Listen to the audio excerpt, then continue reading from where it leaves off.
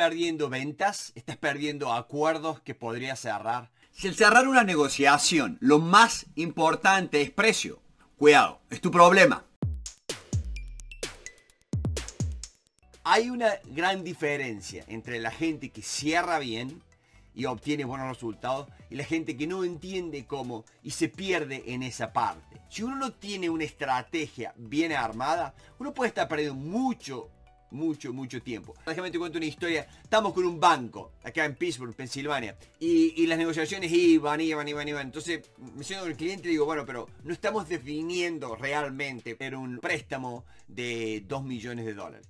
y, había varias condiciones. Entonces, ¿qué hicimos con, con esta gente? Primero, determinamos una de las formas de que, bueno, bárbaro, hay que comparar con alguien. Acuérdate eso. Primero, comparar. El segundo, el sistema de urgencia, de miedos, generar miedos para ambos. Y el tercero, lo que van a lograr. Vamos a decir, pero bien, ¿cómo, ¿cómo esto realmente se traduce? Te voy a mostrar porque muchas veces presionar a un banco, que es una gran entidad, presionar a un proveedor grande o presionar a un cliente, que es un cliente grande, parece imposible, parece muy difícil. Pero no, vas a ver cómo sutilmente lo podemos hacer. Déjame, yo te voy a mostrar. Primero, te quiero mostrar cómo es la, eh, empática historia persuasiva. Cómo eso trabaja para tu beneficio. En mi libro Nunca temas negociar, uno de los temas bien centrales que, que hablo son estos tres estados en que vas a trabajar. Comprender, planear y cerrar. Bueno, pero vas a ver que al cerrar, el cerrar, la empática historia persuasiva, maneja estos tres elementos. Resultados que es comparar, no arreglo que los miedos. Escribir la victoria es justamente hacer que tu contraparte se dé cuenta que le beneficie muchísimo. ¿Qué es lo que tenemos que buscar acá? La necesidad y el problema son dos cosas que la gente no se da cuenta. es cierto? ¿Qué es lo que primero necesitamos si queremos ser buenos cerradores? Si yo quiero cerrar bien, yo no necesito buscar este, tu credibilidad, buscar tu confianza. Lo único que necesito es un compromiso claro. Pero decir, ¿cómo voy a lograr ese compromiso? Cuando vos detectes el dolor de la persona. Muchos buscamos valor, ¿no? Buscamos valor. buscar valor es algo importantísimo en toda negociación. Entonces, si yo estoy buscando valor, darle, qué es lo que estoy realmente darle. La contraparte quiere escuchar ese valor porque ese valor está solucionando un dolor que yo tengo. Cuando yo tengo la certeza de lo que vos realmente te estás llevando y la victoria que estás logrando, esa es la mejor forma de vender. Y para eso te digo, te, te preparas. ¿Cómo te estás preparando? Para no hay nada mejor que una muy buena preparación en toda. ¿Por qué? Porque la preparación te va a dar esa fuerza. Estas son las 10 preguntas más importantes. Vamos a generar compromiso. Vamos a generar un punto en el cual ambos podemos comprometernos. Y eso nos va a dar. Vamos a buscar. Muchos hablan, ¿no es cierto? Hoy sí, porque los beneficios, ¿no es cierto? El valor. Tenés que descubrir el dolor de tu contraparte.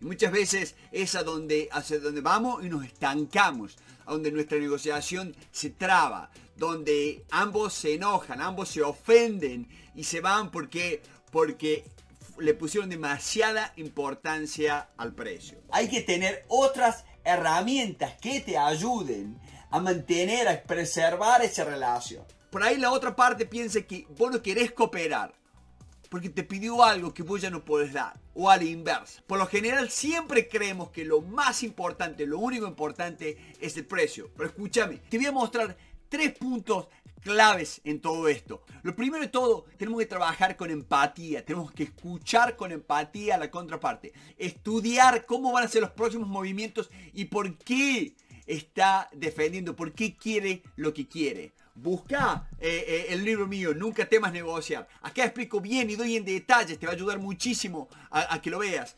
El segundo punto es el partner. El partner, y escúchame bien acá, porque yo lo que tengo que hacer es el partner del otro. Yo tengo que trabajar en sacarle fuerza al partner al otro. Déjame te lo digo más claro. Debilitar el partner al otro. Destruir el partner del otro. Tratar de que el partner del otro no tenga tanto poder. Eso es lo que te beneficia. Si estás viendo esto es porque estás, estás creciendo como líder. Y eso es, es fundamental que nos demos cuenta que eso es lo que más nos ayuda. Nos ayuda a cómo descubrir que en esos momentos es donde más nos trabamos. Y el otro es cómo enmarcas a la negociación. Si yo enmarco la negociación equivocadamente, con errores, yo te explico bien los detalles cómo hacerlo acá. Si yo la marco con errores, yo no voy a llegar hacia donde yo quiero.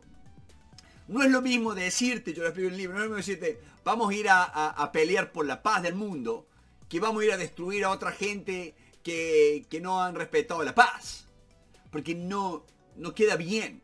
Si vamos a pelear por la paz del mundo, todos se van a sumar. Si yo digo voy a destruir a la gente, ya, ya no estoy respetando el común denominador que es la paz. Parece imposible, pero está ahí. El secreto está en que el precio no puede ser el único. Yo tengo que buscar otros elementos. ¿no? Tengo que buscar empáticamente, tengo que escuchar, tengo que aprovechar. Si no estoy seguro, yo tengo que aprovechar los primeros momentos para escuchar bien y para saber hacia dónde él puede ir, qué es lo que puede estar pensando. Si sos líder, este tipo de video te va a ir alimentando distintas alternativas, distintas tácticas, distintas estrategias que vas a poder hacer cuando estés negociando. No te olvides nunca que el mejor momento para aprender estas tácticas es ahora, no cuando las tengas que usar. Porque por ahí la gente trata de aprender cuando está en, todo ese roller coaster, desde sub y baja de emociones. ¿no? Aprende no en esa montaña rusa de emociones, aprende ahora. Estudialas ahora, fíjate ahora. Mírate uno, dos o tres videos por día. Vamos ya mismo. Te invito a que veas un video del banda. Este video del banda te va a ayudar a posicionar, porque conociendo bien el banda vas a poder aprender cómo puedes manejar a la contraparte y disminuir ese poder que él tiene, porque trajo un muy buen banda, que es lo que yo no quiero que él tenga. ¿ah? Entonces, vamos ya mismo a ver un video de cómo trabajar en disminuir el banda, cómo trabajar, cómo identificar ese banda que te va a ayudar. El banda es la palabra de la Universidad de Harvard que utiliza para eh, determinar las alternativas que tenemos. Vamos ya mismo a verlo. Vamos, ya.